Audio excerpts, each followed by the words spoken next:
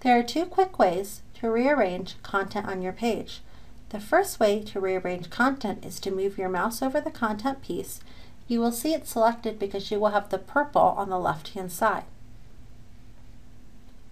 Once you've chosen the content you want to move, you just left click, hold it down, and move it to where you want it on the page and release. And as you can see, our content has moved. You also can go up to the up and down arrows on the menu bar, click on it, and you will get a list of all content. You would select what piece you want to move and use the up or down arrows to move it into place. Once you're happy with its location, you'd go ahead and click on Submit.